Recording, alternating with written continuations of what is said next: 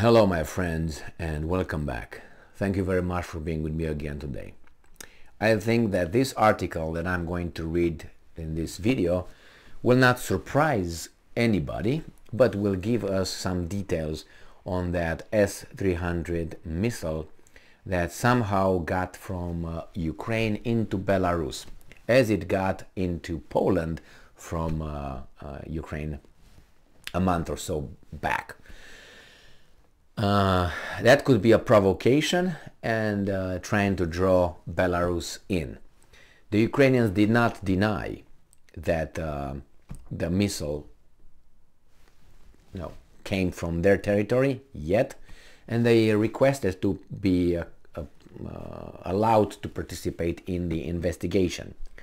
Something that, if you remember, other countries were not allowed in the Polish investigation which was Ukraine. Why? Because it was a matter of NATO. That that showed where Ukraine, the Ukrainians sent their investigators over there, but supposedly the Ukrainian investigators were not allowed to be on site and to be part of the investigation. Why? Because it seemed like the matter was too serious to allow the Ukrainians to bullshit themselves in there. Okay? Uh, because Ukrainians, the first things thing they did when that fell in uh, Polish on Polish territory and killing two people, said Russia did it.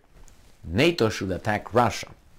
Now, and NATO said, hold on, hold on, the bullshit is too big. Let's see how we can uh, calm down a little bit here. We don't want to get in a real hot war with Russia. We like to be at a distance having other people die for. we don't want to get anything, no bruises here, okay? Now it seems like the Ukrainians do the same thing now with Belarus, who I said on many occasions has no advantage, doesn't benefit Russia or Belarus from getting themselves inside the war or in the war. And uh, I don't uh, see this being an impossible uh, scenario, which I think is the most probable scenario, accidental or a provocation to have those guys invade, declaring it an attack and so on. We'll see if the Belarusians are capable of holding their horses back. This article comes from Al Mayadeen, which is an Arab media outlet, independent. they don't like the kosher guys, but it's independent. All right. Why? Because I read it every day. I go over the Jerusalem Post, I go over this one, I go some other uh, Jewish uh, um, media outlets, so I, I see more than one angle on the issues. Well, what articles I choose to uh, discuss, it's a different story based on the bullshit these guys are uh, throwing at us. Now this article, as I said, is from today, the 30th of December 2022. This is the title. Ukrainian missile unlikely fired by accident. Belarusian official claims. State Secretary of the Belarusian Security Council, Alexander Wolfovich. Wolfovich, that's from Wolf, I'm guessing. Mm, any German uh, ancestry over there? When the Nazis went, came back. So Wolfovich tells Sputnik that the probability that S-300 missile flew to Belarus by accident is very low. So, no. The Ukrainian S-300 missile that was fired Thursday by Ukrainian armed forces on Belarusian territory might be part of someone's plan.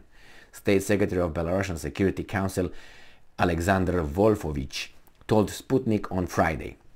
You can't control everybody over there. Sometimes you have people that you know they have their own um, uh, motives, reasons, and uh, they are paid by other actors that are not the main actor, actors. You never know, and we're not going to be told unless someone is going to do a really, really good investigation and find the details in a book that's going to be buried somewhere.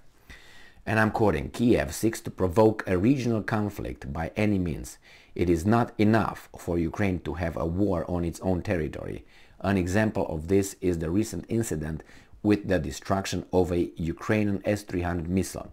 We will establish the reason for its fall on our territory, but the probability that it flew to us by accident is very low. Apparently, someone's plan is being realized here, Wolfovich said. He added that Warsaw showed reluctance to discuss regional security issues related to the fall of the missile in Belarus.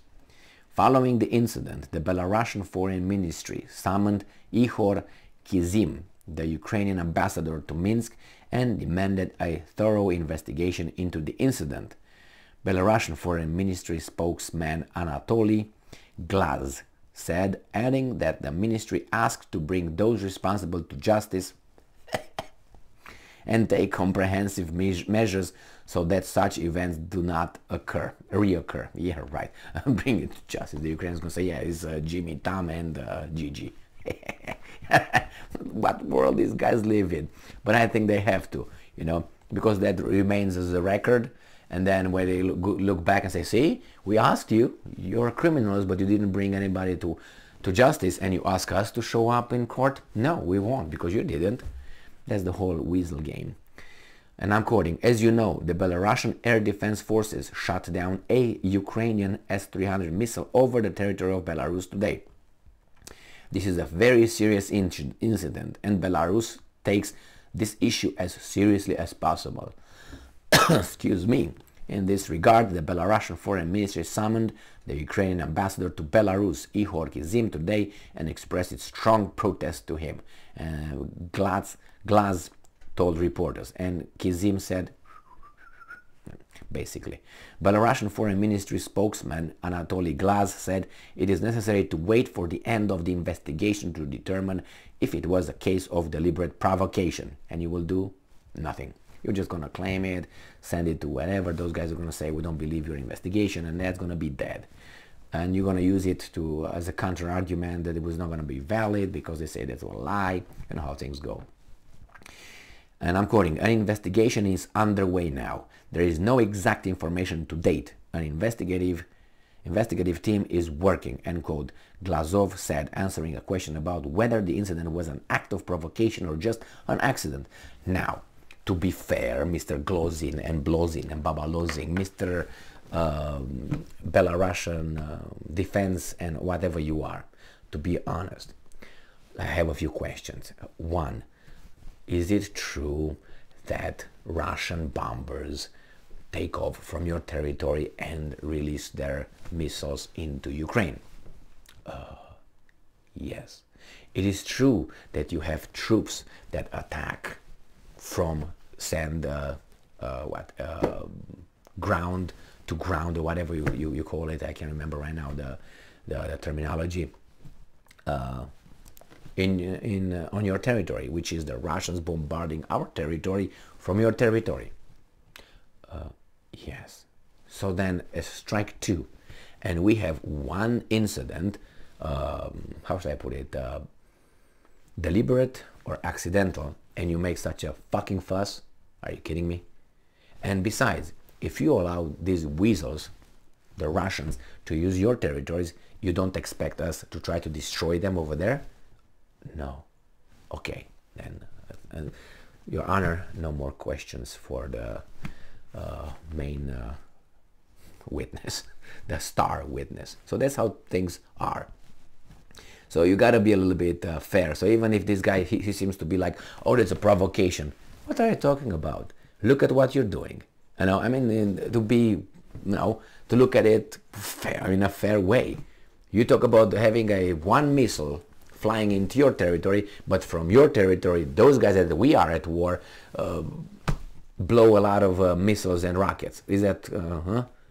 I mean, come on. But anyway, you know how it works in a kindergarten, like this. Thank you very much for being with me again today. Stay strong, stay smart, look for the truth, and be just.